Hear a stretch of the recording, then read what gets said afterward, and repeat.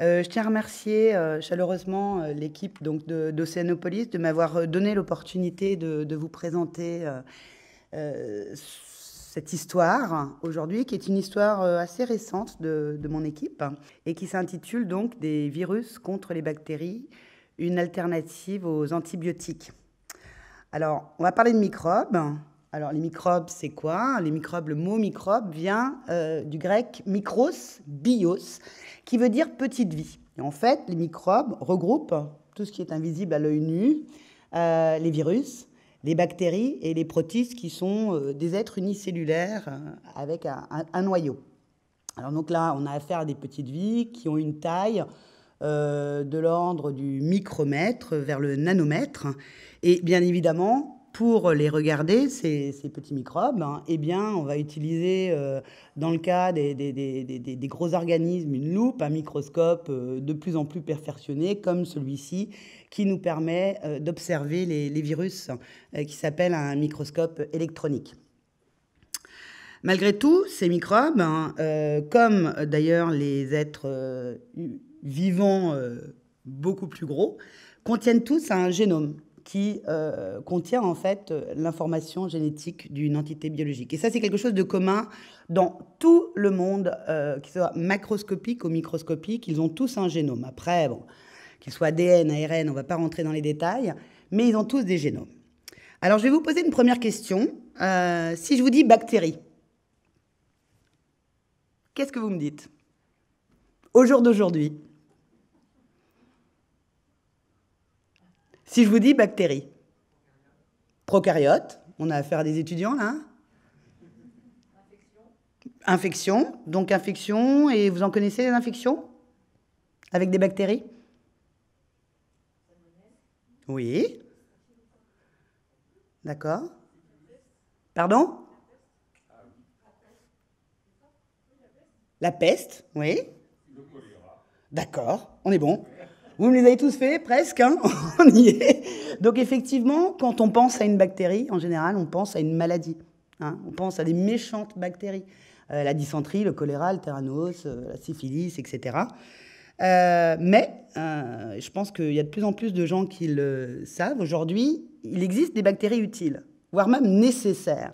Alors bien évidemment, on les trouve dans, tout ce qui est alimentaire, hein, mais on en trouve en particulier aussi dans notre corps.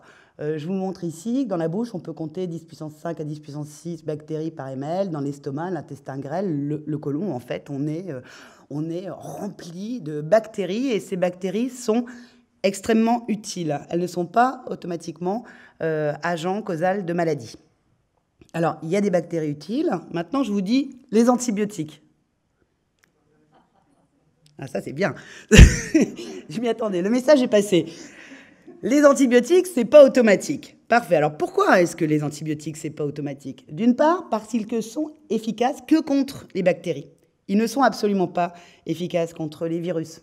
Ils agissent aussi, du coup, contre les bactéries utiles, voire nécessaires de nos organismes.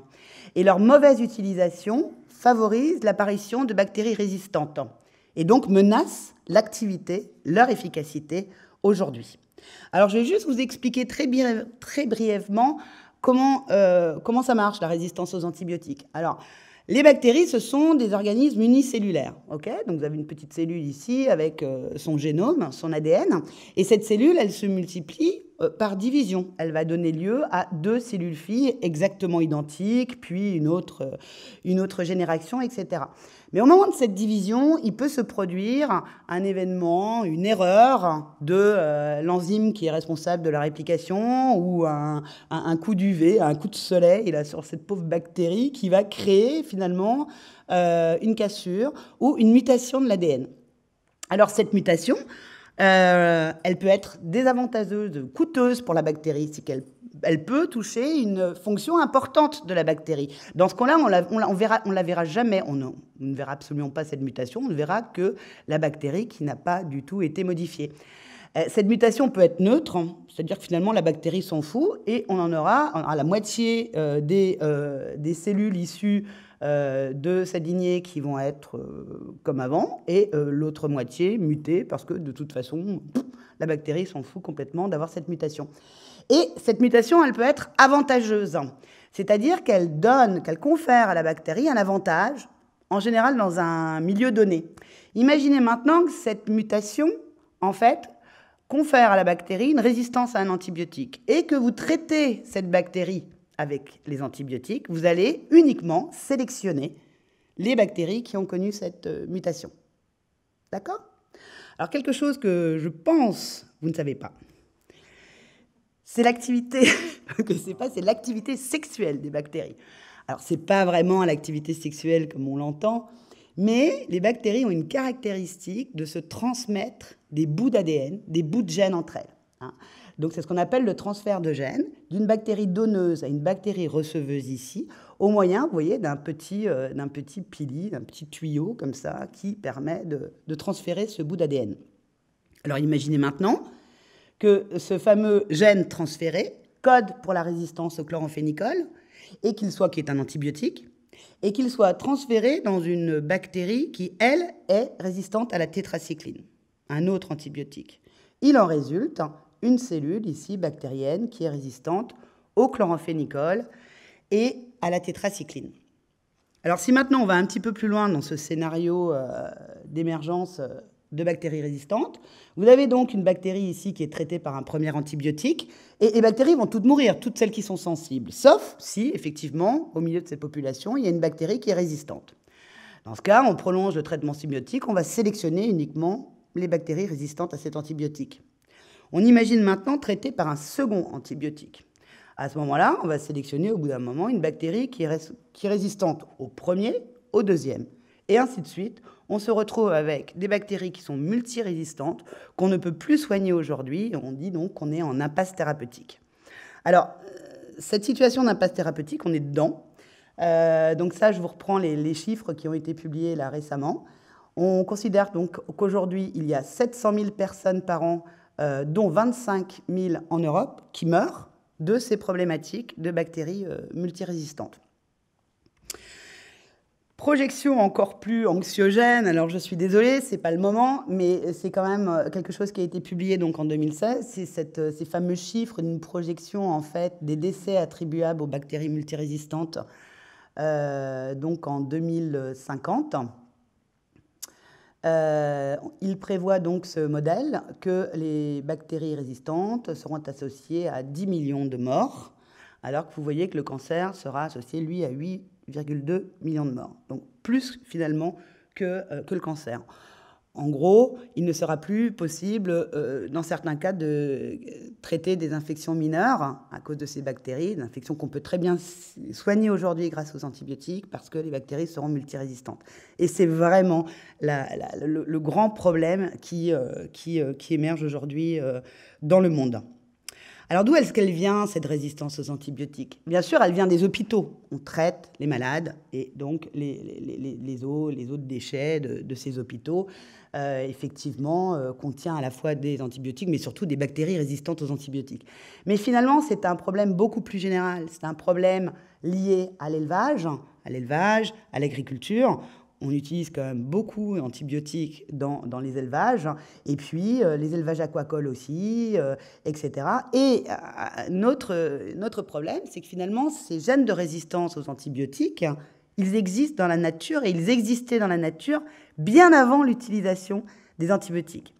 Pourquoi? Bah Parce que, en fait, les antibiotiques, c'est produit naturellement par les cellules, les champignons, les bactéries, pour en fait attaquer les autres bactéries et ne pas partager leur niche écologique. Donc c'est quelque chose de naturel. Donc comme c'est un moyen de, créer des relations antagonistes, de, se battre contre les autres au sein de la niche, ben, finalement, les bactéries, elles ont euh, bien évidemment développé des moyens de résister aussi avant l'utilisation des antibiotiques.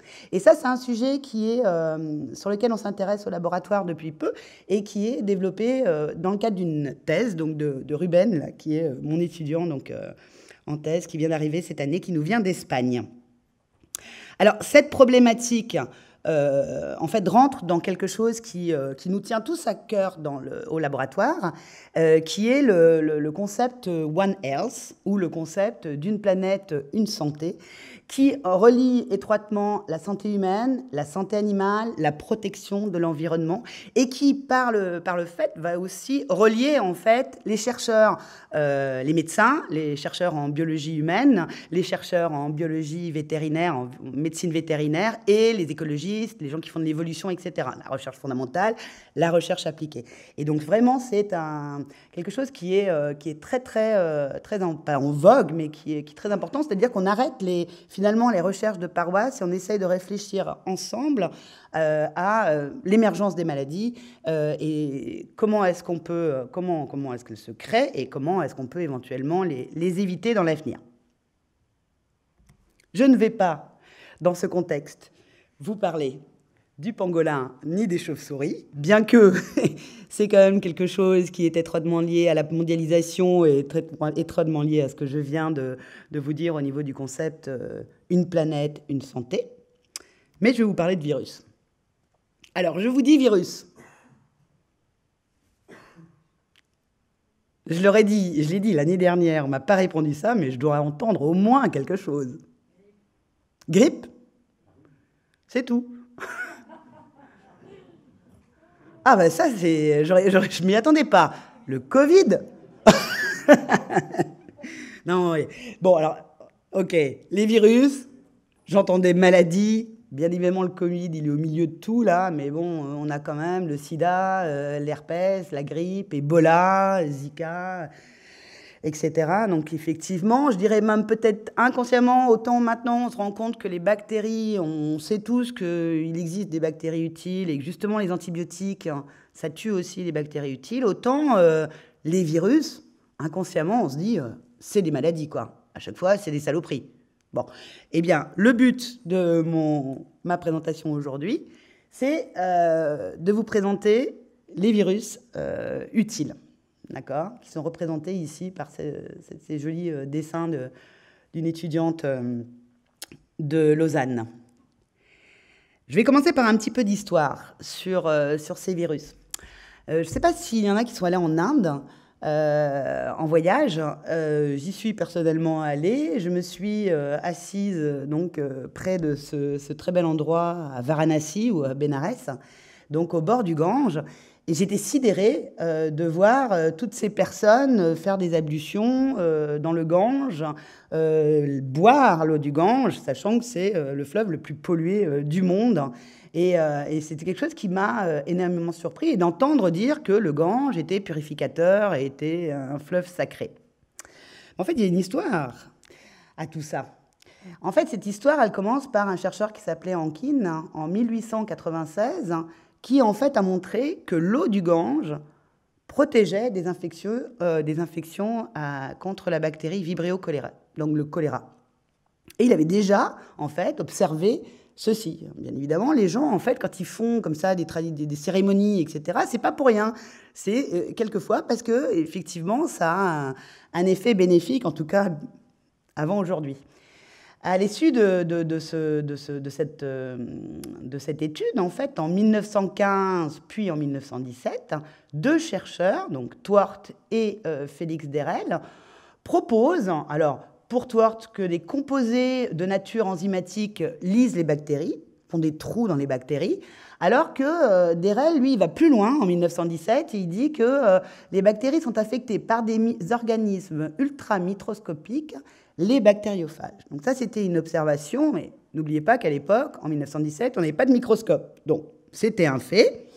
Euh, sur cette euh, observation de, bactéries qui tuent avec des tout petits éléments, eh bien, Derel a commencé à soigner des patients euh, par ce qu'il a appelé donc les, phages ou bactériophages, et il a commencé à traiter des patients, des enfants de dysenterie, choléra, peste, infection de peau, etc à l'époque, en 1917, sans savoir ce que c'était vraiment. C'était des petites particules. Mais au même moment, en fait, un petit peu plus tard quand même, 12 hein, ans après, euh, il y a une grande découverte qui a été faite par Fleming en 1929, c'est la découverte de la pénicilline, et euh, quelques années, donc lequel médicament a été introduit donc en 1942, euh, juste donc en plein pendant la, deuxième guerre mondiale. Deuxième guerre mondiale, c'est beaucoup de blessés graves avec des, grosses infections qu'il faut traiter tout de suite. Donc ça, ça a été le, début de l'utilisation de la pénicilline pour les les grands malades de, guerre. Et ça a été aussi finalement le début de l'âge d'or des antibiotiques, qu'on compte entre 1940 et 1970, avec la découverte de plus de 40 molécules euh, à activité antibiotique. Alors, Derel là-dedans, eh bien Derel, en 1933, une revue critique euh, la phage-thérapie euh, critique le, travail de Derel en disant qu'il manquait des contrôles, qu'il manquait vraiment une preuve réelle de, l'efficacité. Encore une fois, c'était avant la découverte du microscope. Euh, et éventuellement aussi, et aussi on, critiquait le, principe de, purification de, de, ces phages et donc la pureté. Donc ça pouvait plus amener de maladies qu'autre chose. Donc il n'était pas content. Euh, il est parti à ce moment-là, donc en 1934, il est parti rejoindre un étudiant à lui qui s'appelait George Eliava, qui avait travaillé avec lui à l'Institut Pasteur. Alors Eliava, il a fait une thèse de doctorat à l'université de Moscou. Il a travaillé avec Derel, donc c'était son étudiant euh, donc à l'Institut Pasteur euh, deux fois de suite. Puis il est rentré dans son pays, donc en Georgie, à Tbilissi, pour créer un institut de phagothérapie, parce que lui, il y croyait au travail de, Félix Derel et, à la phage-thérapie. Malheureusement, il a été donc exécuté par Staline en 1937, et ce qui a d'ailleurs euh, fait que Félix Derel n'est pas resté en est, il, est, il est rentré en France par la suite. Derel, c'était un drôle de bonhomme. Euh, il y a plusieurs livres qui sont sortis sur, euh, sur ce chercheur. Je vous invite à les lire. Il est assez extraordinaire. C'était un autodidacte complet. Il n'a jamais fait d'études, en fait, euh, universitaires. Il est parti monter une, distillerie de whisky au Canada avec son frère, donc sans aucune formation. Et c'est là, je pense, qu'il s'est rendu compte de l'importance des microbes, des bons microbes, en produisant du whisky. Et euh, par la suite, il a immigré dans le sud, etc. Il a développé, il a commencé à développer des bioinsecticides. Euh, il lisait beaucoup, certainement, et il a travaillé à Yale University, il a travaillé à l'Institut Pasteur, euh, et c'est d'ailleurs à l'Institut Pasteur qu'il a fait sa découverte sur les phages. Bon, il était très particulier, il n'avait pas du tout le caractère des chercheurs classiques, et ce qui lui a valu d'ailleurs ce petit, ce petit article que j'aime beaucoup, que je vais vous lire, euh, écrit par Carter donc, euh, dans cette revue, euh, qui illustre assez bien le problème. La découverte de Félix Derel sur les phages est un exemple notable de l'impact négatif que peut avoir la personnalité sur le résultat d'une découverte. Certes, les perspectives de la thérapie par les phages auraient été mieux servies si Derel possédait certains des traits de personnalité et du style scientifique de Pasteur. Bref, le fameux savant voyageur décède dans l'anima le plus total, malgré plusieurs euh, nominations euh, au prix Nobel. Alors je reviens sur ma petite frise, euh, frise historique. Après la guerre, donc de 47 à 91, donc on est en pleine guerre froide. Donc, euh, côté euh, Europe, euh, Occident, on part vraiment sur la production, la découverte d'antibiotiques, le traitement des malades, des infections avec des antibiotiques. Et puis, côté Union soviétique, bon, pas beaucoup de communication entre les deux fronts. Et eh bien, quand même, Georges, il a monté son, son, institut de, phagothérapie en Géorgie. qui va se développer aussi en Pologne et qui va fournir en fait à toute l'Union soviétique des phages pour en fait euh, traiter leur maladie. C'est-à-dire côté Union soviétique, on avait la phagothérapie, côté Europe et États-Unis, on, avait les antibiotiques. Et cet institut existe encore. Euh, donc à Tbilissi, je suis allée le, visiter l'année dernière avec mon, doctorant euh, Damien. donc là, c'est nous, là, enfin c'est moi. donc devant le, centre de phage thérapie, le centre de recherche sur les phages est ici. On a été superbement bien accueillis par ces gens. Euh, ici, vous avez la pharmacie où vous pouvez vous acheter euh, les phages. Et euh, donc, ce qu'ils nous ont annoncé, c'est qu'ils traitaient donc 300 patients infectés par an. Et ces patients, en fait, viennent viennent de, plein d'endroits du monde que vous voyez ici avec des petits sticks là sur la, map monde. Et là, en fait, tous les post-it de remerciements des gens qui sont venus se faire soigner, donc en Georgie. Il y a trois ans, donc en 2017, l'Institut Pasteur célébrait les 100 ans de la découverte des phages par Félix Derel. Et euh, j'ai pris en photo ce, poster, qui était en fait un poster présenté par les gens de Bilici, euh, qui montrait en fait des, euh, patients donc, qui étaient infectés par des, des, des, sales bestioles, quoi, des bactéries très très, très invasives, ici très résistantes aux antibiotiques. Bon, je ne suis pas médecin, hein, mais enfin bon, on voit bien quand même que là, c'est énorme. Et puis, et puis après, vous voyez, 15 jours et un mois, de cataplasme de, de phages. Ils ont complètement maîtrisé l'infection. Là, c'est encore plus fort ici. Donc, ils disent que c'est une bactérie résistante euh, à la gentamicine, érythromycine. Euh, bon, voilà, vous avez toute la liste des antibiotiques auxquels elle résiste. Hein. Donc, cette personne, probablement, euh, c'était une personne qui devait se faire amputer et qui est allée donc se soigner en Georgie. Et, voilà. Bon, ça, c'est donc le poster que les gens de, de, Georgie ont présenté. Alors, côté de chez nous, au jour d'aujourd'hui, même c'est pas au jour d'aujourd'hui, mais déjà depuis 2000, euh, d'une part, le nombre de nouveaux antibiotiques commence à décroître considérablement, et d'autre part, la résistance aux antibiotiques, comme, euh, je vous l'ai montré tout à l'heure, augmente considérablement. Donc, bien évidemment, euh, depuis dix ans en particulier, il y a pas mal de gens qui s'intéressent à, cette, à, ces, phages. Donc, il y a un, renouveau du phage et de la phage thérapie, avec, dans un premier temps, des essais en commercialisation d'un phage contre l'hystéria euh, pour euh, en fait sauvegarder des, produits alimentaires. Donc là, il n'y a pas trop de problèmes éthiques, c'est du lait, donc euh, ils ont effectivement, ils utilisent aux États-Unis donc les phages pour, pour traiter, pour prévenir l'infection de l'hystéria, qui est une bactérie pathogène, dans le lait. il y a eu des premiers essais, c'était vraiment le tout début, essais cliniques contre l'otite, essais cliniques euh, contre des infections euh, de peau chez les grands bulets. Donc ça, c'est un projet qui s'appelle Fagoburn, euh, qui malheureusement a, subi un manque de, patients dans l'essai dans pour vraiment avoir des résultats statistiques corrects. Et puis en 2017, donc, les médecins annoncent un succès suite à l'injection d'intraveineuse contre une septimie. Donc ça, c'est de notre côté. D'accord? Donc on commence à voir au jour d'aujourd'hui des essais qui se font à titre compassionnel c'est-à-dire qu'en général, de toute façon, ce sont des personnes qui sont euh, euh, condamnées et euh, à qui on va donner effectivement, on va essayer alors, donc, ce traitement, parce que de toute façon, on ne peut pas les soigner avec des antibiotiques. Donc il y a deux hôpitaux qui le font. Encore une fois, je préfère pas euh, trop euh, me positionner sur le sujet parce que moi je suis chercheuse en biologie, en microbiologie euh, et je m'occupe plutôt de, de l'espace marin. Vous avez euh, sur euh, Internet, vous avez, ce sont donc des médecins qui euh, exercent à Lyon et à la Pitié-Salpêtrière de, de, Paris. Il y a pas mal d'émissions, il y a pas mal de reportages et d'articles de ces gens-là. Donc si, si vous vous intéressez au projet, il faut mieux, à mon avis, leur poser des questions à eux qu'à moi. Moi, je vais vous parler un petit peu plus de, de, de ces bactériophages d'un point de vue biologique. Hein. Euh, et un, peu de notre projet de recherche aussi. Alors, ces bactériophages, donc, euh, ce sont les ennemis naturels des bactéries. Comme je vous l'ai dit, euh, c'est des virus.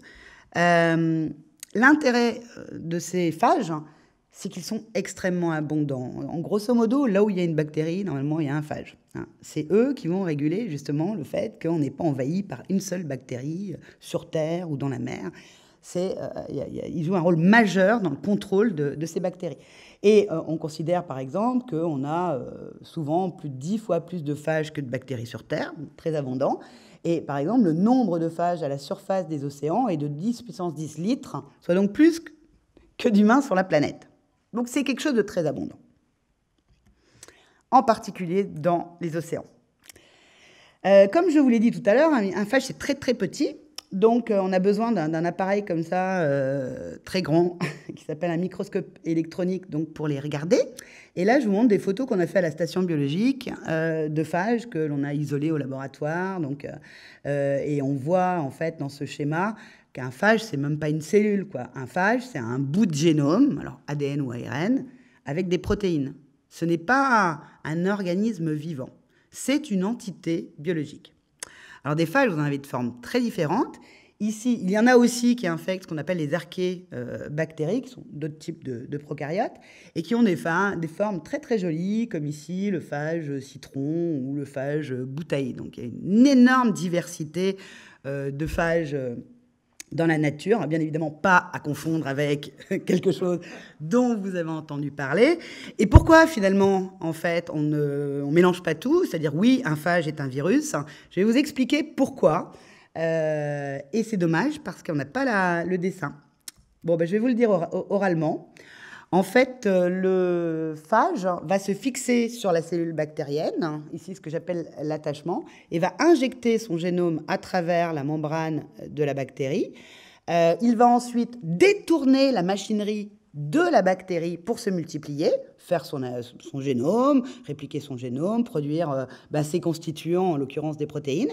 Il va se réassembler ici dans la cellule bactérienne et puis souvent, bah, la cellule bactérienne est pleine de, virus, hein, de, phages, et eh bien elle va faire des trous sur la membrane pour la faire exploser, pour libérer les phages. Donc en général, on a pour une cellule 10 euh, à 100 phages qui sont produits. Donc on voit l'exponentielle.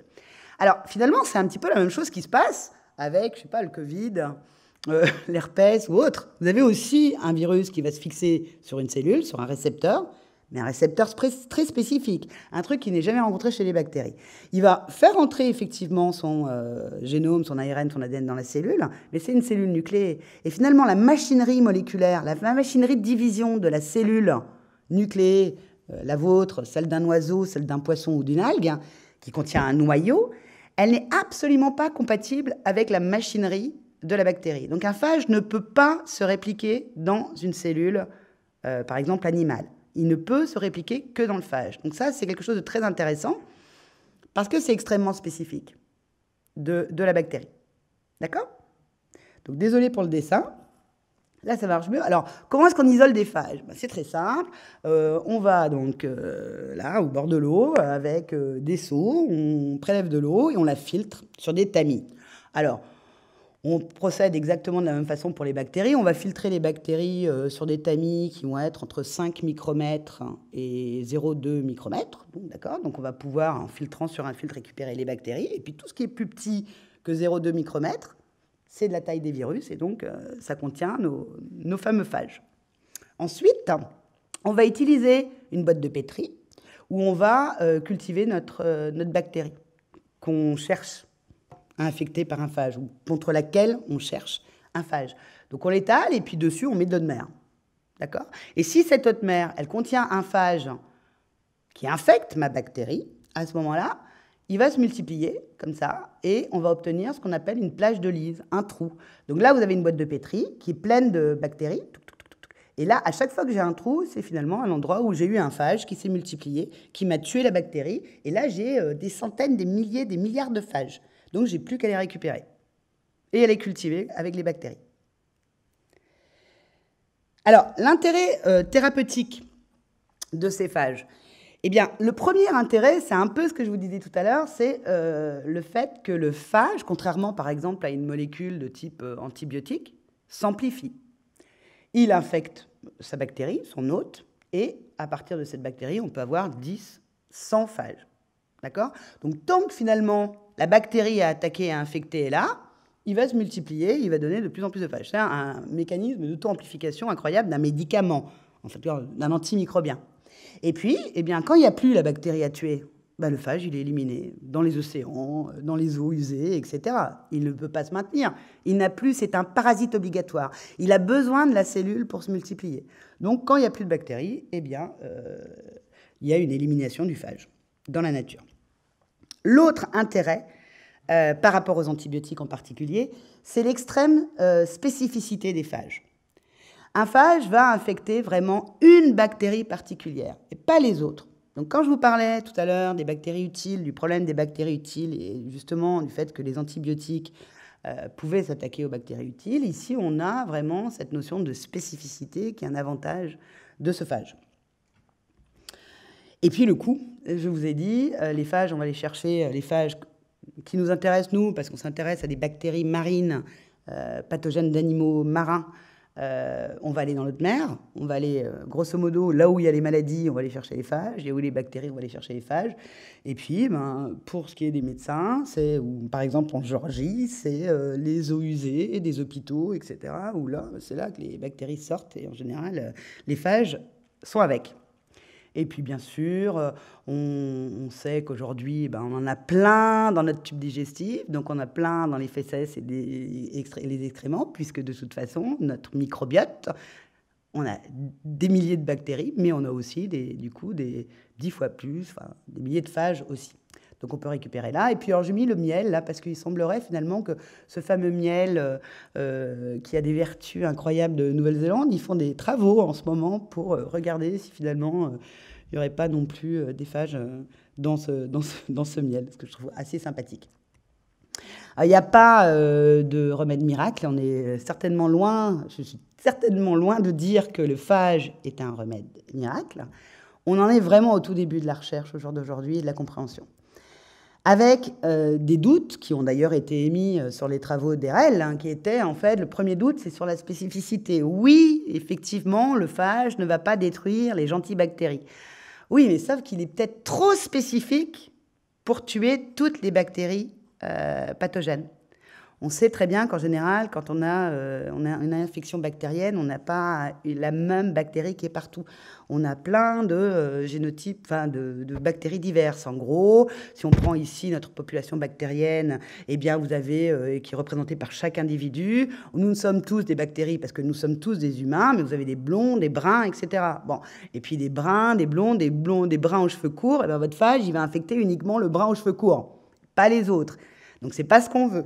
Donc l'idée là, euh, de ce qu'on recherche à faire, c'est euh, finalement euh, de créer des cocktails le plus simple possible. C'est-à-dire qu'on va essayer de comprendre bah, finalement comment la bactérie est diversifiée. Est-ce qu'il y en a 100 formes différentes? Est-ce qu'il y en a 10 Et puis, est-ce qu'on peut établir un cocktail de phages pour attaquer chaque membre important de, de ces bactéries? D'accord? Donc ça, c'est l'idée du mélange et du cocktail de phages. Autre problème, c'est comme les antibiotiques, euh, les, euh, euh, bactéries développent des mécanismes de résistance. Alors on a beaucoup, beaucoup, beaucoup crié au loup là-dessus parce que c'est très facile quand on cultive une bactérie sur une boîte de pétri et qu'on met un phage dessus d'observer de la résistance. Maintenant, ça semble, euh, et on connaît les mécanismes moléculaires, la bactérie fait, mute en fait le récepteur du phage et donc n'est plus infectée par le phage. Mais en fait, on se rend compte que dans la nature, dans la vraie vie, euh, c'est pas du tout euh, comme ça que ça se passe. En fait, on ne sait pas trop comment ça se passe, c'est beaucoup plus compliqué.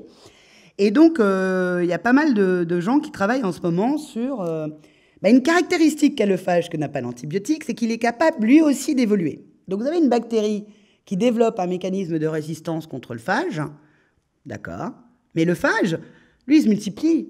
Et lui aussi, il peut avoir des mutations, des changements dans son génome hein, et évoluer pour contre-attaquer.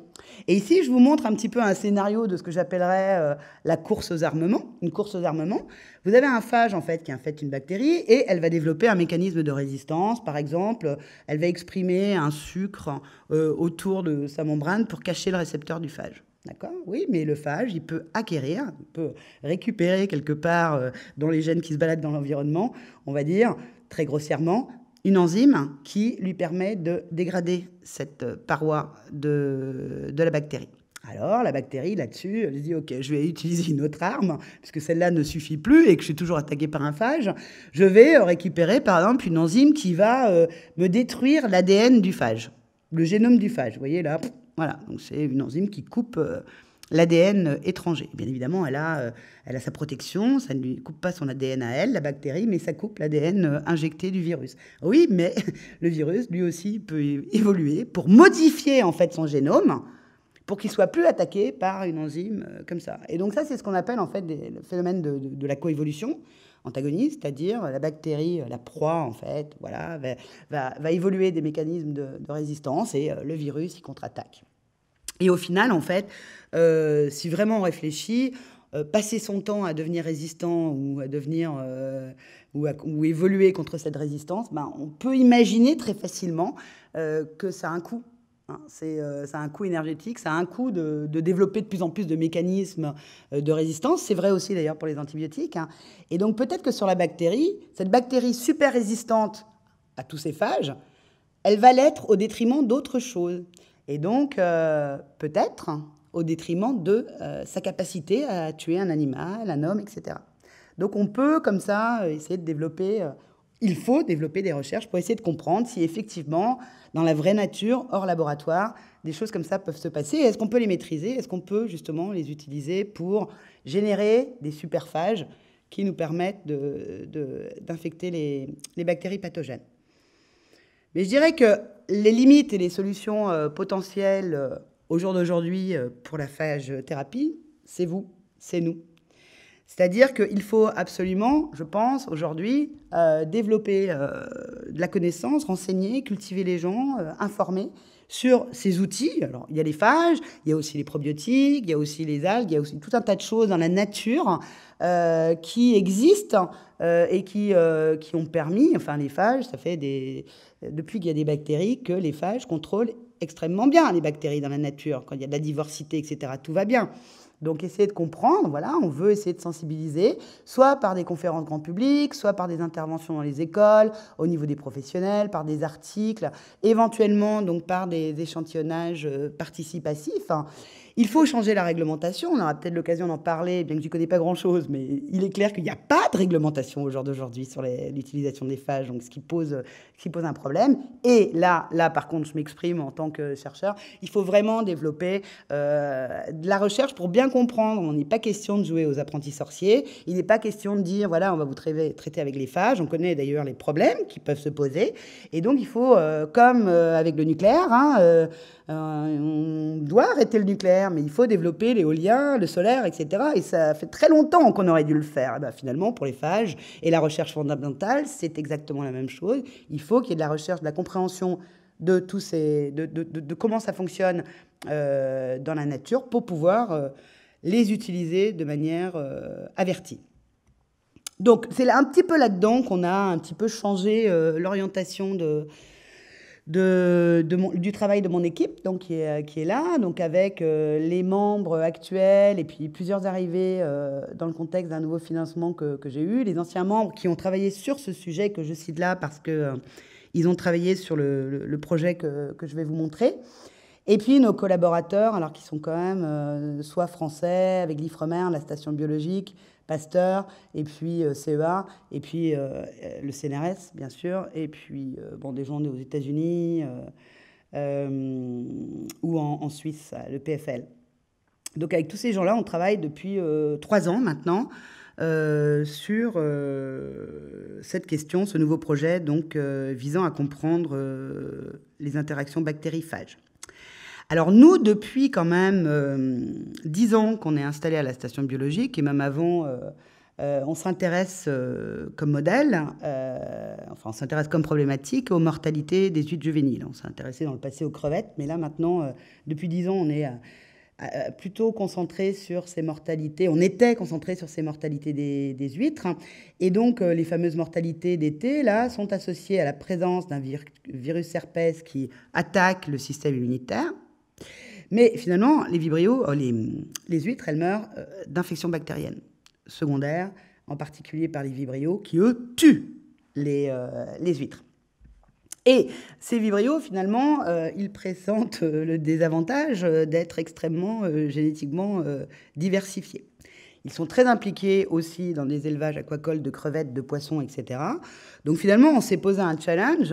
Le challenge qui en fait n'est pas restreint du tout à l'ostréiculture, mais qui en fait intéresse toute l'aquaculture euh, marine, qui est comment est-ce qu'on peut maîtriser ces bactéries tueuses, ces vibrios, et euh, afin d'éviter l'utilisation des antibiotiques euh, en écloserie. Alors le travail a commencé par un immense échantillonnage. Donc là, vous avez toute l'équipe de, de l'époque. Certains étaient sérieusement fatigués. Euh, donc échantillonnage de terrain euh, à Plogastel euh, d'Aoulas, donc juste à côté, dans une, dans une ferme ostréicole, parce que si on veut aller chercher des phages contre les bactéries pathogènes d'huîtres, c'est là qu'il faut aller. Donc on est allé vraiment aller au niveau des poches, on a prélevé de l'eau, voilà, qu'on a filtré, je vous l'ai je, je expliqué tout à l'heure. Et puis, donc, c'est un échantillonnage qu'on a fait pendant cinq mois où on allait prélever de l'eau et des huîtres tous les deux jours.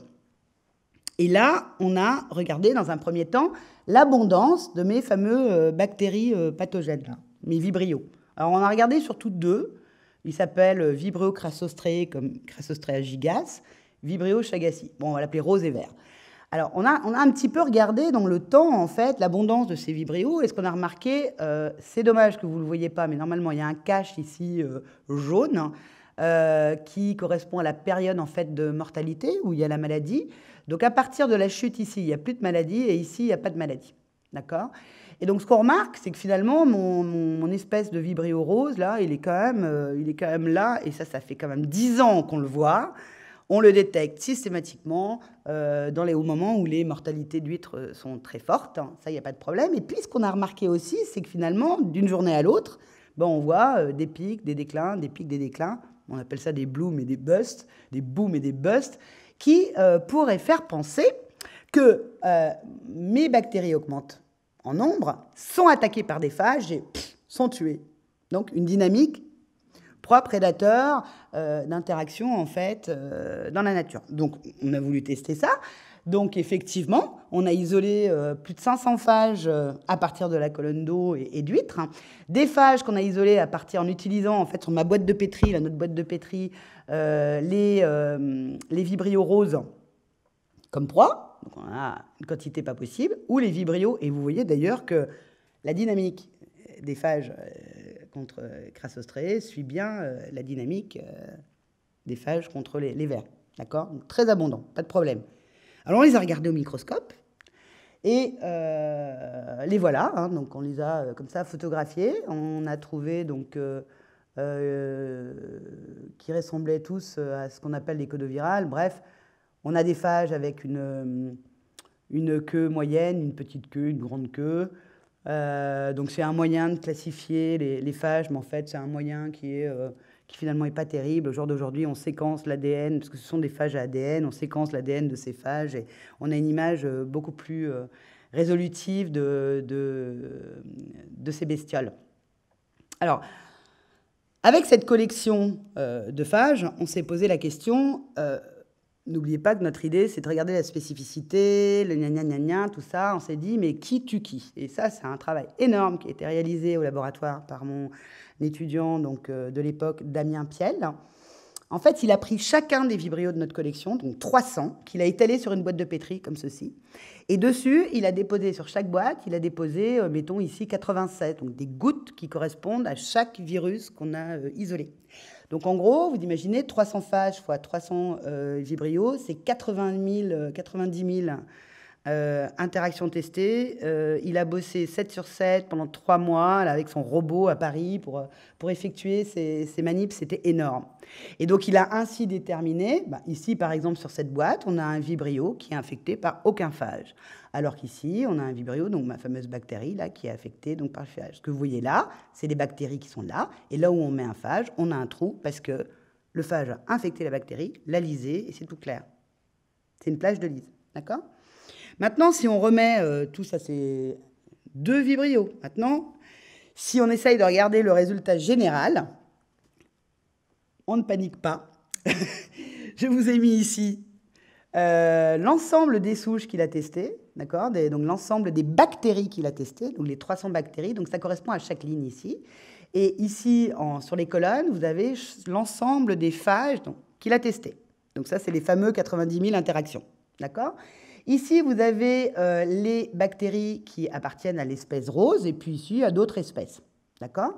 Qu'est-ce qu'on voit? On voit les petits, euh, petits carrés rouges c'est quand l'interaction est positive, c'est-à-dire quand la bactérie est infectée par le phage. Donc, ce qu'on remarque quand même, c'est que les carrés rouges, donc les infections positives, elles ont lieu plutôt euh, au sein de l'espèce Crassostreae. Donc, on est quand même assez spécifique. On ne va pas infecter les autres espèces de vibrio, d'accord? À part celui-ci, hein, qui est ce qu'on dit plus généraliste. Lui, il a vraiment un spectre beaucoup plus large. Mais globalement, quand même, les infections sont euh, plus, euh, beaucoup plus réservé euh, à Vibrio crassostré. Et quand on compte un peu le nombre de phages qu'il nous faudrait pour établir un cocktail de phages, eh bien, on est assez surpris parce qu'on s'attendait à plus. Avec 16 phages sur les 300 qu'on a utilisés, on peut déjà euh, infecter 70% de notre collection de Vibrio. Ce qui est pas mal pour euh, un travail avec une équipe toute petite et des moyens euh, qu'on avait à l'époque. C'était quand même pas mal parce qu'on aurait pu imaginer avoir besoin de 300 phages. Si effectivement les phages sont aussi spécifiques que ça, ben non. On sait maintenant qu'il y a des phages qui infectent plusieurs, plusieurs bactéries.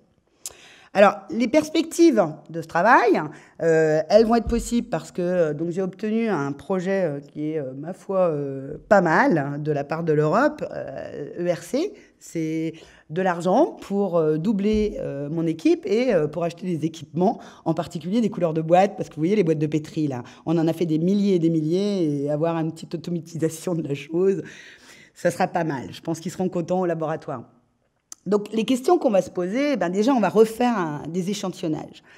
On va refaire des échantillonnages de phages et de bactéries au même lieu, c'est-à-dire à Plogastel d'Aoulas, Logona, pardon, euh, parce qu'on veut voir si finalement d'une année sur l'autre, euh, on doit changer de, de phage. C'est-à-dire, est-ce que des phages qui ont été isolés en 2007, ils sont toujours actifs sur des bactéries que je vais isoler en 2020 donc on va déjà comparer ça, donc même lieu, temps différent. Et puis après, euh, tous les ans, pendant 4 ans, on va aller se promener, enfin on va aller échantillonner euh, euh, du côté de Boin, du côté de Marraine, du côté d'Arcachon, les bactéries, les phages, et on va regarder les interactions avec des bactéries dans le même lieu ou de lieux différents, pour voir aussi si, par exemple, je développe un cocktail de phages contre des bactéries de Brest, est-ce que ça marche contre des bactéries d'Arcachon D'accord? Donc ça, c'est un gros travail d'échantillonnage et, de testage. Ensuite, d'un point de vue euh, plus fondamental, euh, on s'intéresse à comprendre les interactions vache-vibrio. Donc on va vraiment, alors là, d'un point de vue moléculaire, s'intéresser aux mécanismes de défense contre les phages, à la capacité des phages à contre-attaquer et à comprendre le coût de la coévolution, comme je vous l'ai dit. Est-ce que une bactérie qui devient euh, euh, résistante à vitam aeternam, euh, est-ce qu'elle est, est peut survivre dans l'environnement? Et ça, c'est lié en fait à une manip que je vous montre brièvement, qui a été réalisée par Yannick Labreuge, qui est chercheur au laboratoire, où en fait, il a comparé des interactions, des infections de vibrio, soit dans des milieux de culture synthétique, comme ça se fait au laboratoire, dans du plasma d'huître, donc c'est le sang d'huître sans les cellules, et surtout sans bactéries, sans rien, ou dans euh, du, sang, pur, pur d'huître, avec euh, euh, son lot de globules blancs et, de, et, de, bactéries. Et il a remarqué, donc ici en noir, vous voyez la courbe de croissance des bactéries. Donc ici, vous avez, donc quand vous n'avez pas de phage, bon, bah, les bactéries, elles poussent un peu partout, plus ou moins bien, dans tous les milieux, elles poussent bien. ok? Ici, vous avez la courbe de croissance des phages, c'est-à-dire les phages infectent au début, et pouf, ça augmente puisqu'en fait, ils ont infecté la cellule et il y en a eu 100, 10 à 100 qui ont été relargués. Donc c'est ce que vous voyez ici. Et c'est vrai que dans les trois conditions, on a une production euh, de, de phages. Maintenant, si on regarde, alors effectivement ici, quand on a une production de phages, on voit que nos vibrios, euh, ils meurent.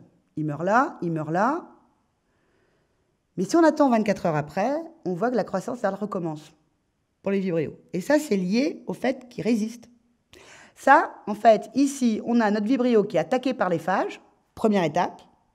Et puis, dans ce milieu, au bout d'un moment, il va développer des mécanismes de résistance. Donc, le, phage, il s'en fout et hop, il se multiplie très aisément. Mais ce qui est très intéressant, c'est que dans le sang d'huître, c'est pas arrivé. C'est-à-dire qu'en fait, on n'a pas eu de résistance. Et notre hypothèse est que probablement euh, cette résistance développer de la résistance contre le phage, ça a un coût sur autre chose. Hein. Ou il y a peut-être une synergie aussi entre le système immunitaire de l'huître et le phage. Ce sont des, hypothèses à creuser. Autre hypothèse à creuser, c'est qu'on veut trouver des vibrios qui nous permettent d'augmenter la productivité. On sait qu'on a des bactéries pour un même phage. On a une bactérie qui va produire 3-4 euh, phages et d'autres qui vont en produire beaucoup plus. On veut d'abord, euh, et on veut comprendre ça, parce que c'est aussi très intéressant de comprendre, il y a donc des bonnes donneuses de phages et des mauvaises donneuses. On veut rechercher des euh, mécanismes de synergie entre phages.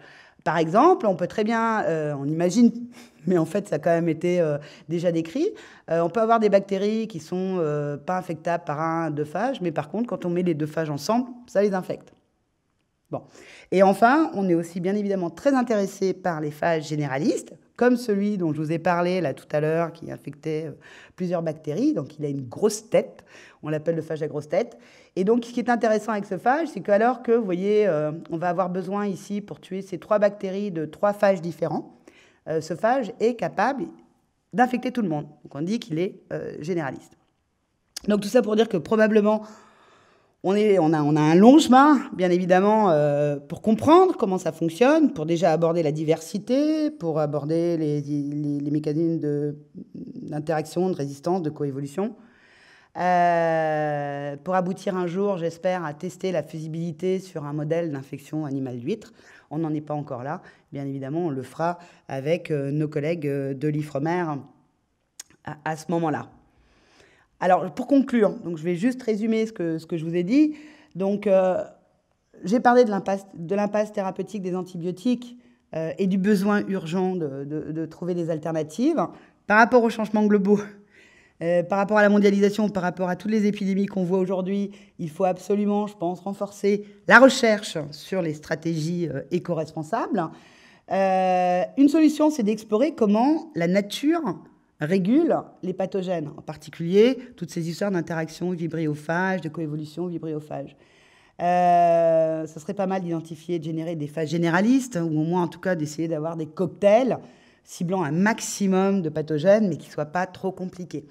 Et si vous voulez en savoir plus, je vous invite vraiment à regarder cette émission, euh, ce film qui a été tourné par Arte, qui s'appelle Les mangeurs de bactéries, et euh, je fais un petit coup de pub pour les copains de Roscoff. Ils font un ciné-débat, donc euh, ils vont présenter ce film et on sera là d'ailleurs pour animer le débat après, donc le 27 septembre à, 15h. Mais si vous avez l'occasion, là vous aurez vraiment aussi des interviews de, médecins, euh, vous aurez toute l'historique et tout. C'est une très très bonne émission sur les, les, phages, donc mangeurs de bactéries. Je vous remercie.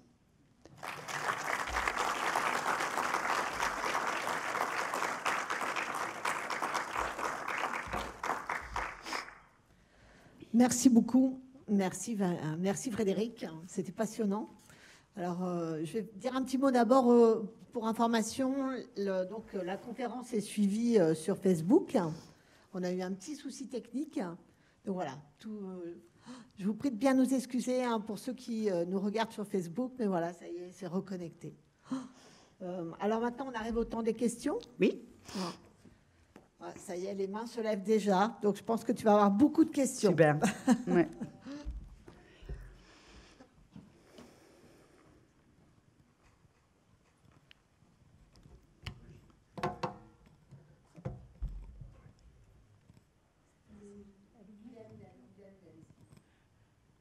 Merci beaucoup euh, pour cette conférence qui était très intéressante.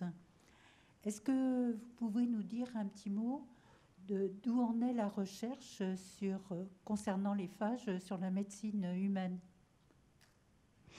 Oui, alors, euh, où en est euh, bon, Il y a des groupes de recherche, en particulier à l'Institut Pasteur, qui testent la phagothérapie sur des modèles murins, hein, donc qui ont des résultats très intéressants. Et d'ailleurs, qui ont, par exemple, montré cette association entre système immunitaire euh, et phage. Euh, il y a donc eu le, projet euh, Phagoburn, donc, qui est un projet qui visait à, alors pas à guérir les grands bulets avec les phages, mais au moins à tester les éventuels. Ce qu'il a montré, ce, ce projet, c'était difficile de traiter des patients brûlés parce qu'ils ne sont pas infectés par la même bactérie. Vous avez bien compris avec mon avec ma présentation que le problème de la phagothérapie, c'est que c'est presque une thérapie individuelle. C'est une thérapie individuelle. Chacun sa bactérie, il faut donc qu'on ait un phage actif contre cette bactérie. Donc, il y a eu cet essai qui a, je crois, en fait, souffert de peu de patients qui sont entrés dans le, dans le protocole, mais je crois que l'intérêt qu'il a montré déjà, c'est que ce n'était pas toxique, les phages. Vous voyez? Mais ça, au moins, ça a servi à ça. Euh, donc, en matière de recherche, ça avance. Alors, en France, vraiment, il y a beaucoup d'équipes je dirais vraiment pour l'application médicale patho, homme, je dirais que c'est l'Institut Pasteur. Il y a pas mal de gens qui travaillent sur les végétaux. Euh, il y a beaucoup de gens qui font de la recherche fondamentale sur vraiment les interactions bactéries, phages, à tout niveau de complexité, que ce soit par la description de la diversité dans le tube digestif, que ce soit par vraiment la description de la coévolution entre deux bactéries dans un tube. Vous avez des gens qui travaillent beaucoup sur la structure des phages, sur la biologie moléculaire. Et il y a aussi d'autres groupes à l'Institut Pasteur, et une start-up d'ailleurs, qui, elle, essaye de modifier les phages euh, D'ailleurs, ce pas les mêmes types de phages, mais ce n'est pas très grave. Ils essayent en fait de rendre les phages intelligents en leur donnant en fait les moyens de cibler des bactéries résistantes ou des bactéries euh, euh, résistantes aux antibiotiques ou des bactéries virulentes. Donc ça, c'est aussi un groupe, c'est une équipe de recherche de Pasteur et une start-up qui s'appelle Eligo, Eligo Biotech. Eligo, les appareils, les, ce sont des petits, en fait, ces phages modifiés, ils s'appellent les oligos. Donc il y a une activité, euh, il existe euh, une autre, euh, donc je ne sais pas si c'est une entreprise ou une start-up, Ferricides, qui elle produit des phages, mais en raison de la législation, de la réglementation, elle ne peut pas les vendre, hein, puisque ce n'est pas un médicament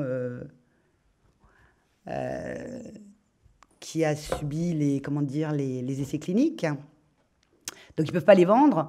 Euh, et je pense qu'il y a un gros travail déjà à faire sur la réglementation. Il n'y a pas de cadre réglementation. Ce n'est pas interdit, ce n'est pas autorisé. Euh, donc, il y a des médecins qui prennent, la, qui prennent la responsabilité, probablement avec signature de leurs patients, de traiter des malades avec les phages produits par Fagoburn ou peut-être avec ceux de Georgie, euh, mais en fait, avec les cocktails de phage qui existent, bien évidemment contre des bactéries qui sont connues, et après s'être euh, quand même euh, assuré que la bactérie n'était pas résistante aux phages, et qui utilisent donc ces, ces, cocktails de phage, ou ces phages seuls, sur des, malades condamnés. Et il y a eu, vous pouvez voir dans la presse, des résultats intéressants, positifs, à Lyon, et à la pitié euh, salpêtrière. Mais on n'en est qu'au début. Et je pense que euh, il ne peut y avoir de réglementation qui avance sans euh, peut-être une clarification de certains points au niveau de la recherche, au niveau de la spécificité, au niveau des dangers, etc. Mais ça avance. Et il y a eu des, cas de guérison.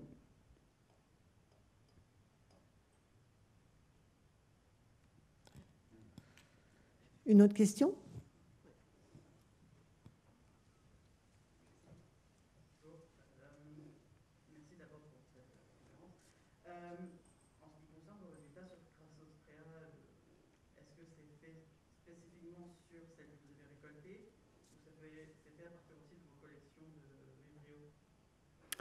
Qu'est-ce qui est fait?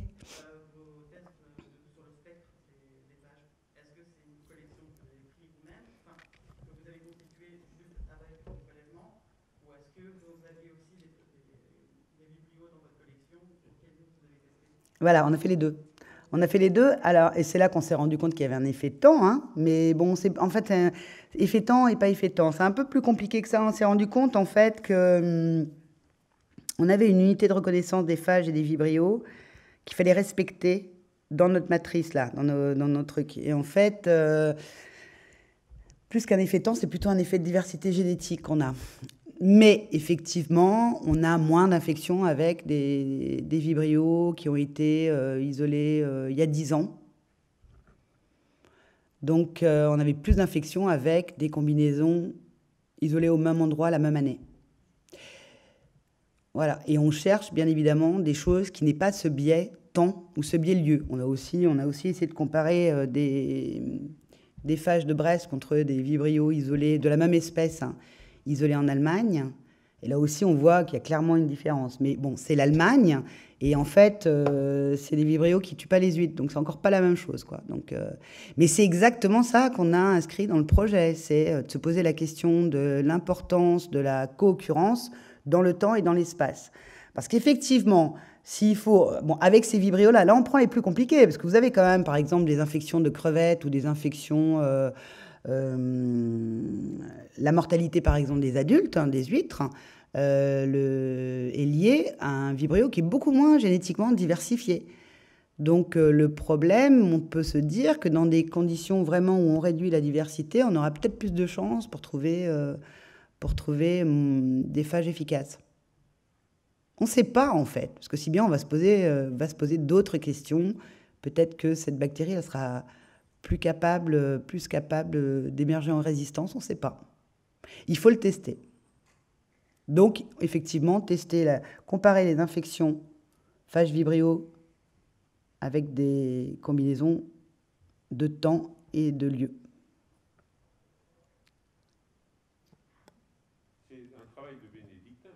Oui. Il, commence, euh, c'est vraiment de la microbiologie, euh, je parle encore quand c'est microbiologie, oui. de la microbiologie de base de terrain. Euh, merci. c'est vraiment de la microbiologie de base de terrain qui part du terrain et qui va vers de la recherche fondamentale très pointue de biologie cellulaire, de génétique, y compris des collaborations avec les entreprises mais qui peuvent difficilement s'intéresser à long terme à ce genre de, problématiques, sauf si euh, il y a un potentiel euh, raisonnable d'application en médecine humaine ou vétérinaire. Oui, enfin, au-delà de ça, alors parce que là, je vous ai montré euh, l'aspect, là, je vous ai montré un petit peu ce qu'on développe au laboratoire, mais il y a énormément de choses sur les phages. On a, il y a des gens qui travaillent sur les, les protéines des phages qui pourraient éventuellement être utilisées pour euh, s'attaquer au biofilm. Il euh, y, a tout un tas de, de, de, propriétés qu'ont ces virus qui peuvent être exploitées, oui, je dirais dans l'agroalimentaire quand même, parce que je vous ai cité d'ailleurs l'exemple du traitement du lait. Je pense que d'ailleurs, il y aurait moins de problèmes éthiques à les utiliser en agroalimentaire, en élevage, etc., que chez l'homme, où là, effectivement, on ne fait pas d'essais cliniques pour traiter le cochon, je pense. Pas, les mêmes, euh, il y a probablement des choses, pas les mêmes, pas les mêmes règles. Hein. Donc euh, non, euh, c'est difficile de se projeter. On a juste, par rapport aux antibiotiques, entre 29 et maintenant, vous avez 100 ans, et, la phage thérapie, on a complètement laissé tomber à partir des années 30 même si les phages ont fait l'objet de nombreuses études en biologie moléculaire et sont, euh, nous fournissent des enzymes et un matériel de biotechnologie incroyable. Vous avez la moitié des enzymes qu'on a au laboratoire. Euh, les enzymes de restriction, c'est des systèmes de réponse, euh, de défense des bactéries contre les phages.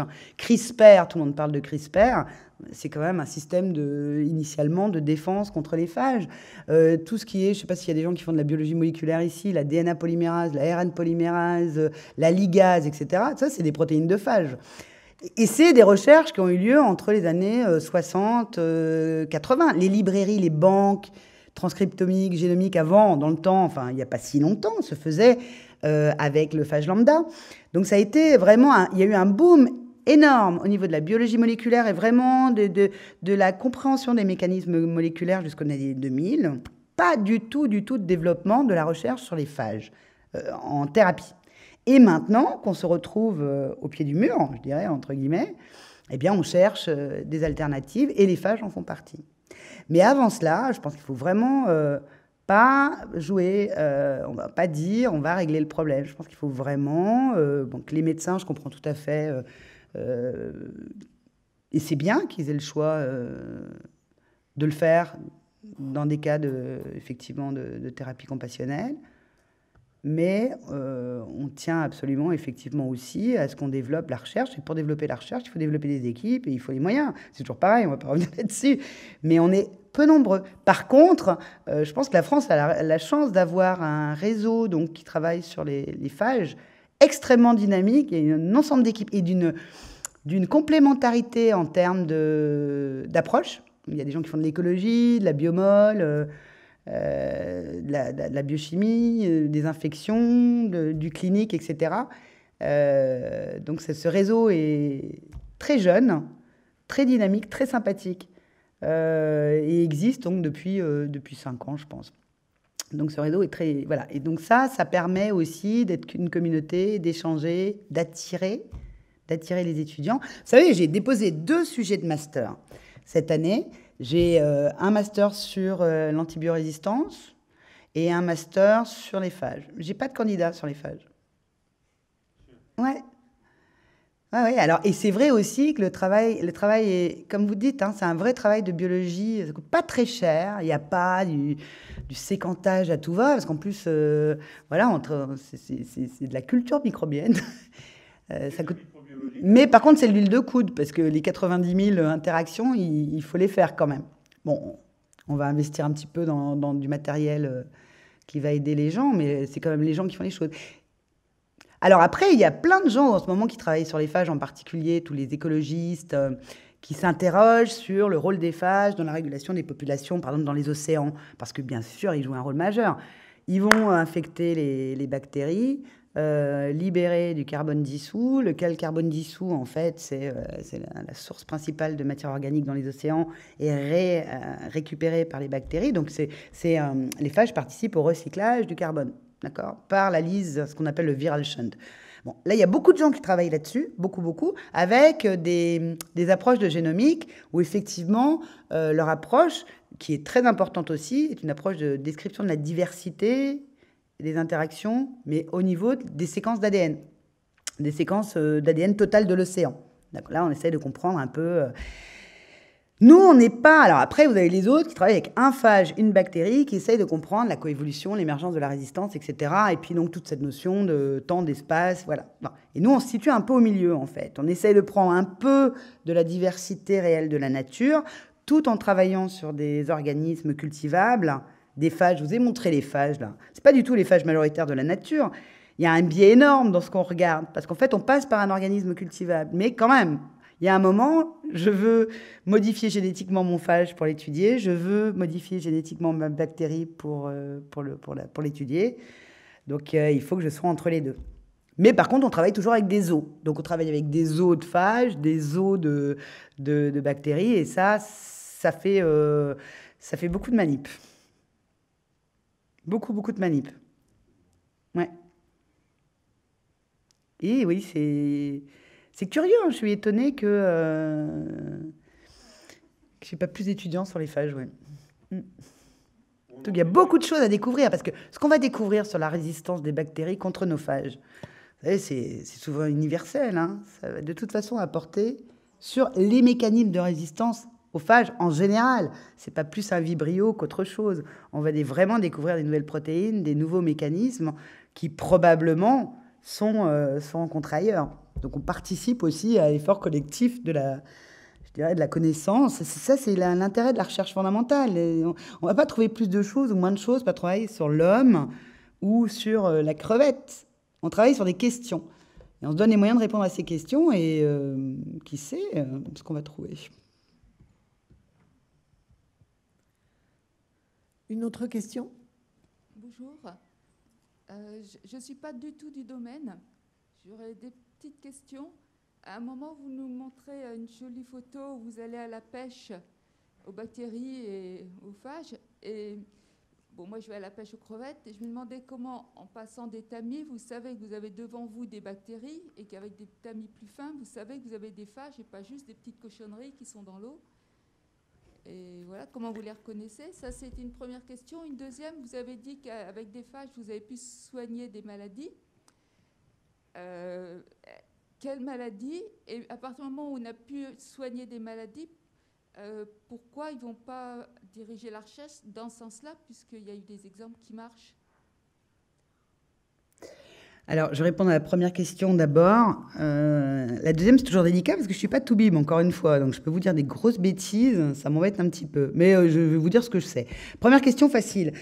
comment est-ce qu'on fait pour... en fait, on connaît la taille des bactéries.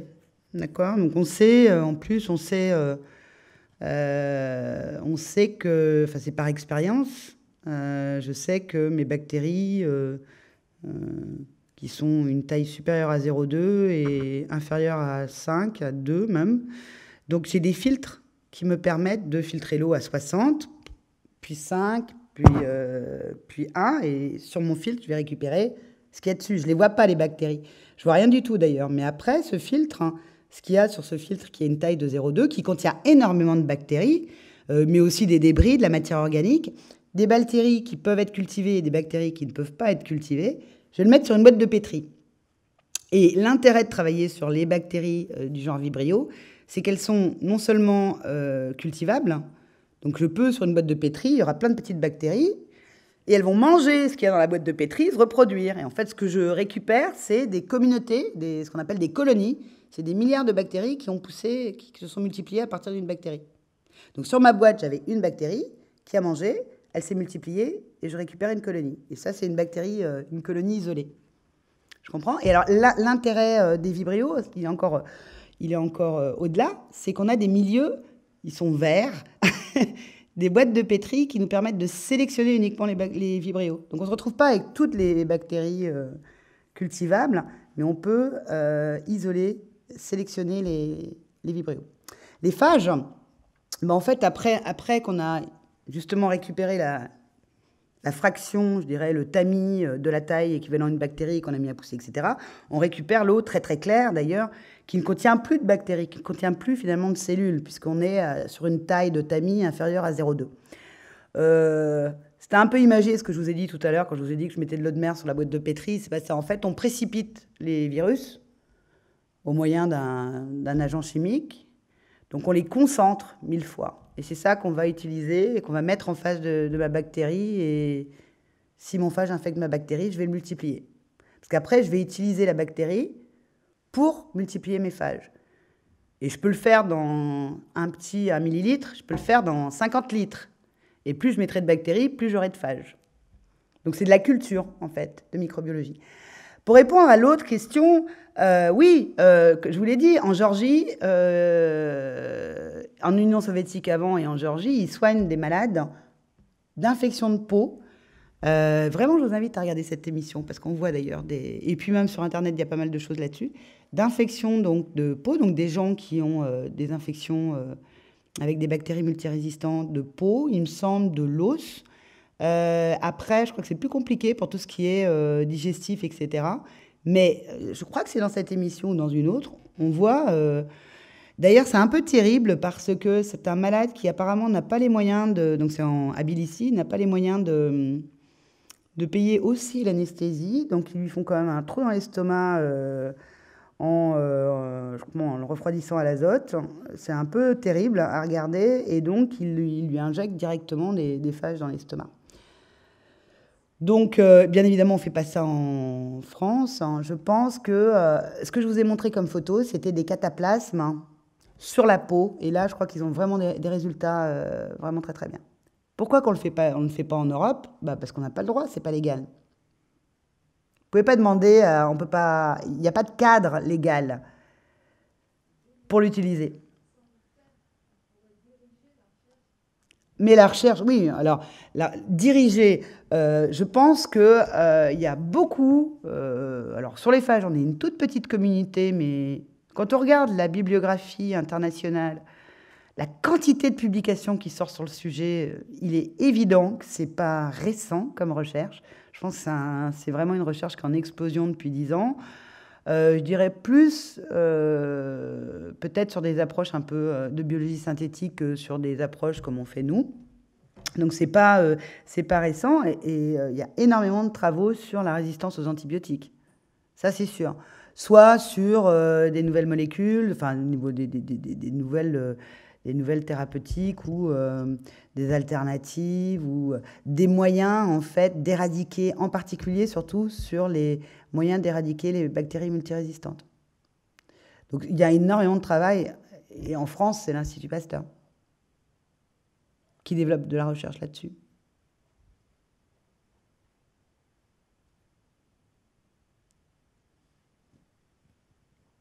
Une autre question?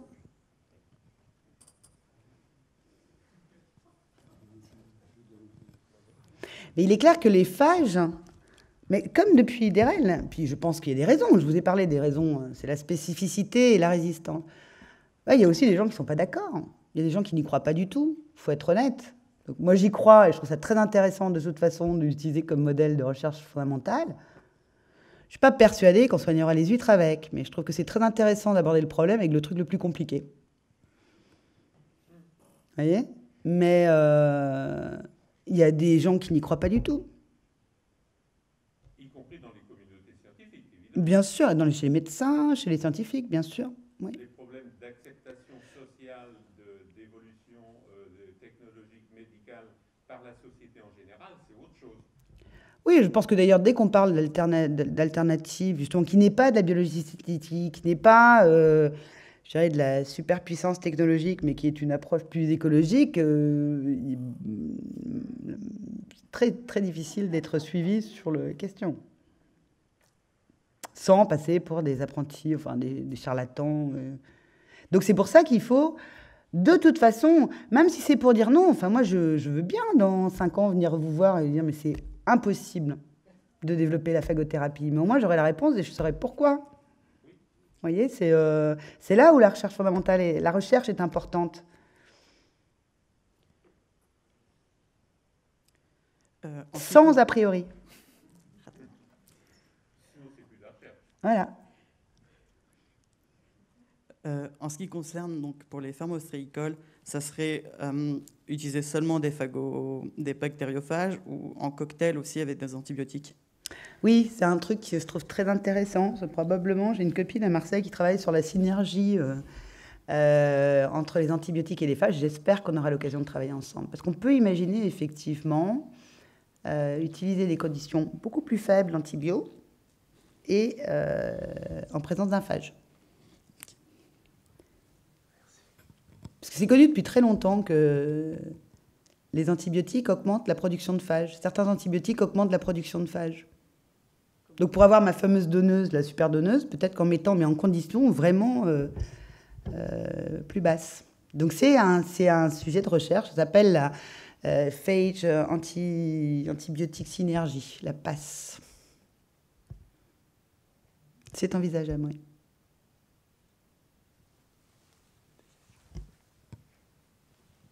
D'autres questions? Oui.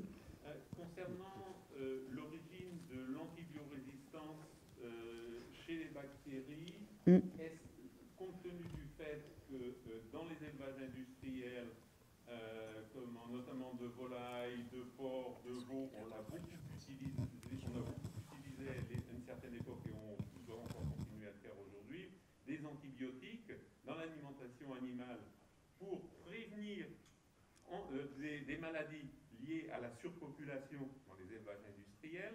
Est-ce qu'on a une idée euh, de la proportion de, bactéries qui sont antibiorésistantes maintenant, qui sont issues des élevages, je dirais, par rapport à celles de- d'un, traitement, en- des origines de traitements euh, médicaux d'infections successives, dire un suivi de l'éventuelle euh, propagation de la résistance entre un élevage porcin et un homme, par exemple Oui.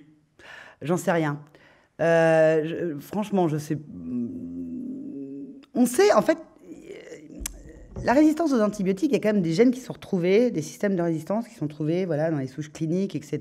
Et, et c'est euh, un sous-groupe par rapport, c'est ces fameux gènes de résistance qu'on a chez les, chez les bactéries euh, des hôpitaux. Euh, c'est un sous-groupe de, de- de ce qu'on appelle la résistance, le résistome, la résistance en général des, des bactéries. Donc je ne peux pas vous répondre. Il y a un sujet par contre qui est très intéressant, c'est qu'on sait que la résistance existe. D'ailleurs, il y a des bactéries qui ont été, enfin de l'ADN bactérien qui a été isolé du permafrost euh, et dans lesquels ils ont trouvé euh, tout un tas de gènes de résistance aux antibiotiques, alors qu'on sait bien qu'ils n'utilisaient pas d'antibiotiques. Bon. Euh, il y a tout un tas de, de gènes finalement qui sont là, qui sont effectivement qui résistent aux antibiotiques actuels, mais en même temps ils sont là pour autre chose. En particulier, et ça c'est le sujet de Ruben. Donc en fait, on a des bactéries résistantes, mais elles vont pas être sélectionnées, euh, elles vont pas causer euh, vraiment euh, ce qu'on appelle la, résistance clinique avec les, les fameux euh, gènes de multirésistance qui se propagent. C'est une espèce de résistance intrinsèque. Alors l'image la plus facile à raconter, c'est que souvent la résistance aux antibiotiques, elle passe par des protéines d'export. Des protéines d'export, et qu'il peut y avoir euh, une même protéine d'export peut être impliquée dans euh, j'enlève euh, l'antibio de ma cellule parce que j'en veux pas, et j'enlève le, le métaux lourd. Donc si vous avez des, endroits riches en cuivre, en cadmium, etc., il est clair que en fait ces mécanismes de détoxification contre les métaux lourds sont aussi, peuvent en fait aussi jouer un rôle dans la détoxification contre les antibiotiques, en fait. Donc il y a pas mal de, travail. Et nous, on a, au début, on a isolé des vibrios euh, en milieu côtier, donc absolument pas dans un endroit d'élevage, euh, je dirais fermé. On sait bien qu'on n'utilisait pas d'antibio. Au début, on s'est dit, oh là, c'est peut-être parce que voilà, il y a beaucoup de gens autour. On était assez impressionnés par le profil de multirésistance des vibrios. Et on est allé isoler en Allemagne, encore plus loin, et c'était pareil, c'était sur une île magnifique qui s'appelle Silt. Et en fait, je me demande, si, enfin, on se demande si c'est pas quelque chose de plus intrinsèque, plus lié à leur défense euh, contre soit d'autres euh, micro-organismes, soit justement, prenez notre vibrio qui vit très très bien dans l'huître. L'huître est très riche en cuivre. C'est euh, ce qui correspond à. C'est un élément extrêmement important de l'huître, de sa physiologie. Je crois que ça correspond à l'M chez nous. Je ne peux pas te dire de bêtises, mais euh, le fer chez euh, le, vertébré, je crois que le cuivre euh, est l'équivalent chez un, une huître. Donc c'est très riche en cuivre. Donc c'est un milieu pour lequel le vibrio il a plutôt intérêt de développer des mécanismes de résistance pour y être bien, puisqu'il colonise très bien l'huître.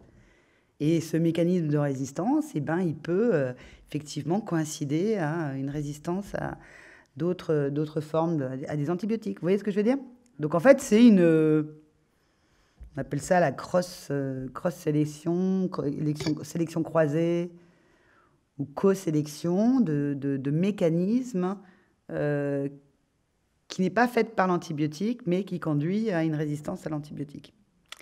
Donc ça, c'est pour tout ce qui est de l'observation de ce que je disais quand on voit les bactéries très résistantes dans la nature. Voilà, c'est euh, pas automatiquement lié à une pression de sélection par les antibiotiques. Donc je pense que pour répondre à, votre question, il faudrait vraiment suivre, et ça je me demande si Pasteur ne le fait pas, euh, suivre ces éléments mobiles en fait, qui sont des plasmides, qui sont assez bien caractérisés, qui contiennent euh, des multiples résistances, mais là j'y connais rien.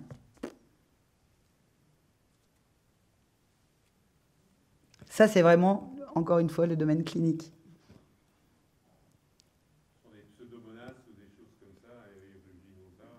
Oui, des. Ouais, ouais, non, ouais, ouais. On, ça, celle-là, on est en plus dans des bactéries qui infectent l'homme, donc c'est. Bon, vibrio, c'est vibrio choléré quand même, mais on n'a pas de vibrio choléré ici. Donc nous, on n'est vraiment pas. On n'est pas très cultivé en matière de médecine humaine et microbiologie humaine. On a le temps pour une dernière question.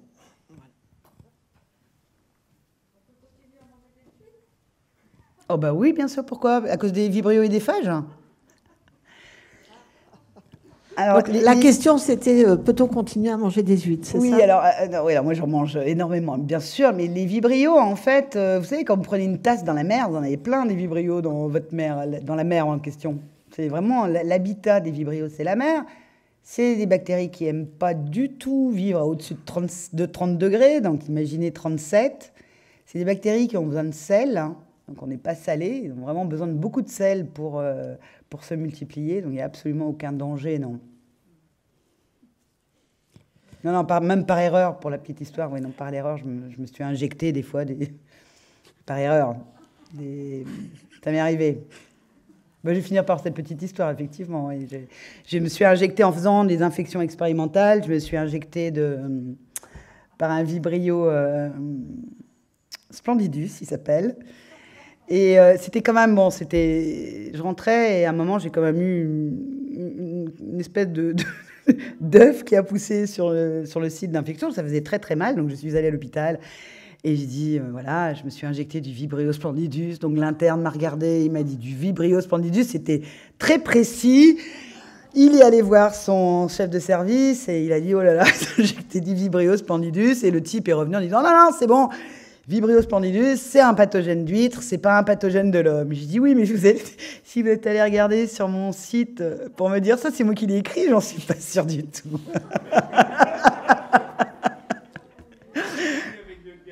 C'était, il est venu, oui, il est allé sur mon site. Donc euh, voilà, il avait trouvé un truc que moi j'avais écrit, Vibrio splendidus, euh, pathogène animal et pas pathogène de l'homme. Bon, après, on a mis de la glace dessus. Il m'a dit, oh, si vos veines deviennent bleues, vous revenez à l'hôpital. On vous donne pas d'antibio, on vous donne pas de... Et, ça s'est bien remis. Le lendemain, j'avais plus rien. J'avais probablement des anticorps contre Vibrio splendidus. Mais tout s'est bien passé. Voilà, c'était la démonstration qu'ils ne sont pas pathogènes de l'homme. C'était pas fait exprès. Hein.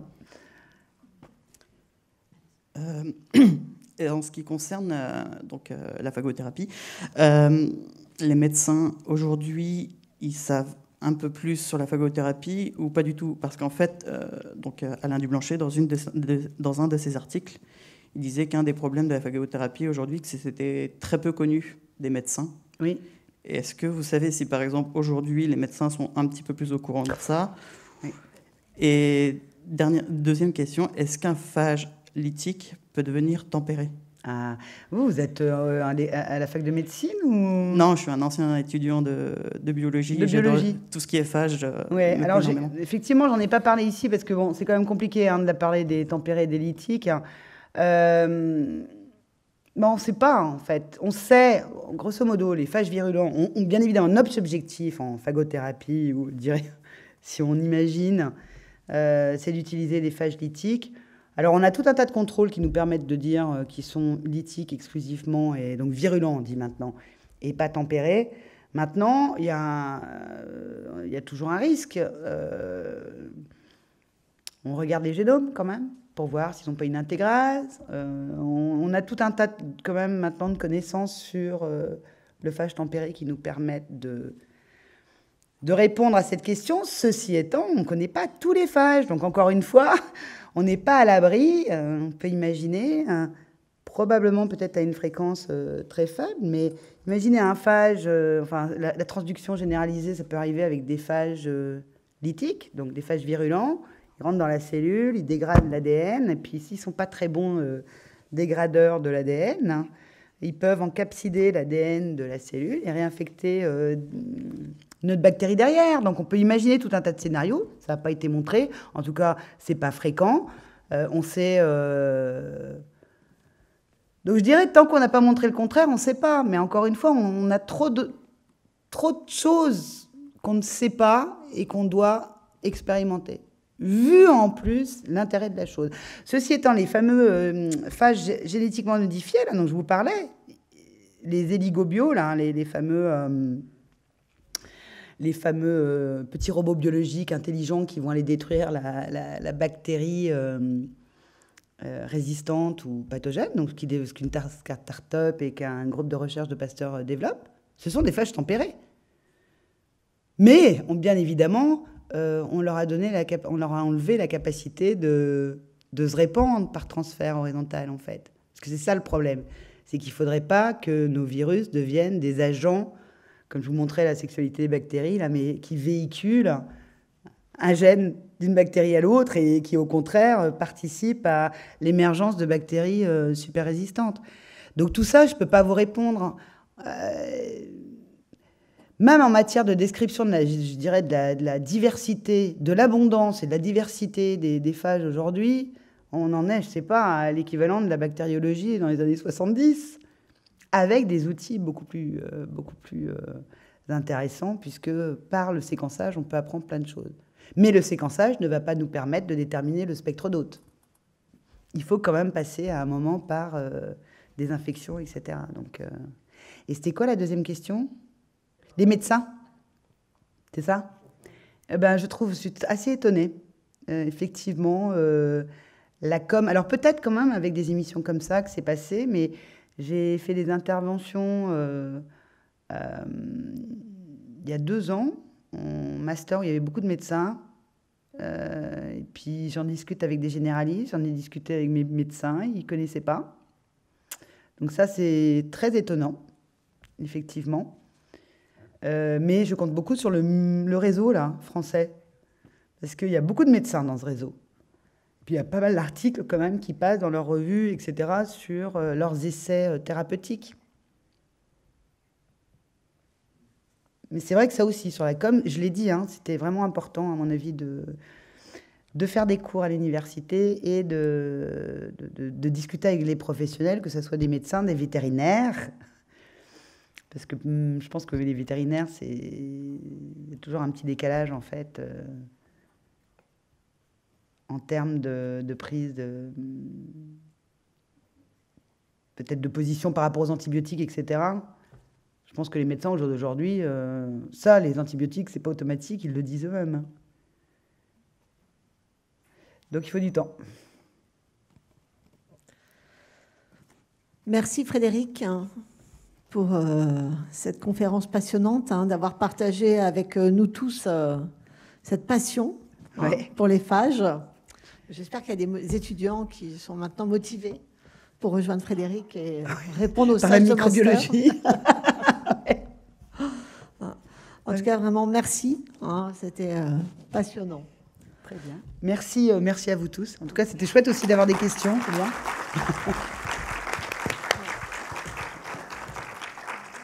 Alors, la prochaine conférence qui aura lieu au Sanopolis, ce sera donc euh, mardi 15 septembre.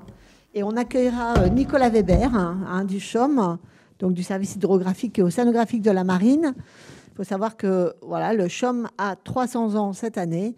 Et donc, il viendra nous parler euh, de cette longue histoire hein, de l'hydrographie française. Je vous souhaite une très belle soirée. Et puis, je vous dis à très bientôt à Ossanopolis. Merci.